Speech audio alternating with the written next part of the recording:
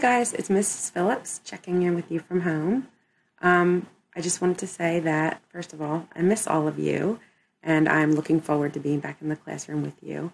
But for now, um, I just want to talk about how things have been going um, from home.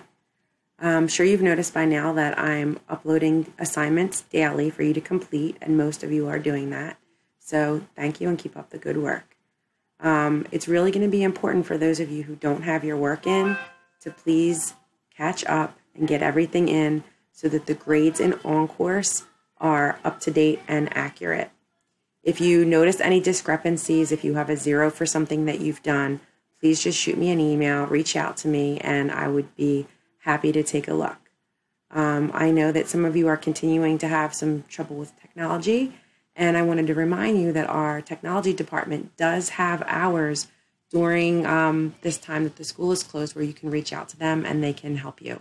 So please don't let technology be the reason that you're not getting your work done. We just need to figure out a solution so that we can kind of work through that. Um, another thing, um, administration emailed um, all of the teachers and reminded us that we need to be logging into our 365. So they also encouraged us to remind the students as well. So please make sure that you are logging into your Microsoft accounts um, on a daily basis, in addition to your OneNote. So um, I also wanted to take a minute to talk about this week's assignments.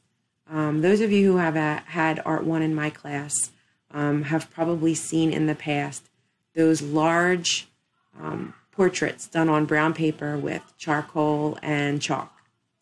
Um, that was one of the projects that I intended to do with you this semester, but we're not in the classroom to use the large brown paper and to use the charcoal and the chalk. So I'm trying to improvise a little bit um, by working on the skill sets that you need to create a portrait, but from home. So you noticed that you had to do um, eyes and you had to do a nose and you had to do a mouth. For today, I'm going to have you learn how to do a human head and hair. And these videos, I think, are really helpful and they contain a lot of really useful information. So I hope that you um, are finding that to be true as well. And for today, after wa- after you watch the video on head and hair, I want you to start the next project, which is going to be a self portrait. Self portraits are um, something that have always been really important um, throughout the history of art.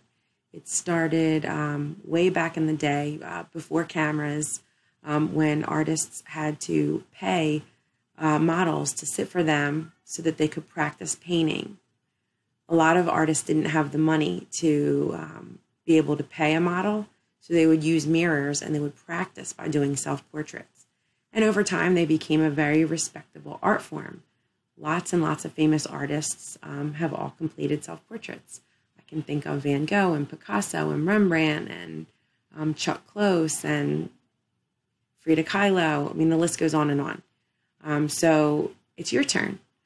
I would like for you to use the skills that we've learned this week all of your facial features, hair, nose, mouth, head, eyes, and I want you to put that all together and make a portrait of yourself.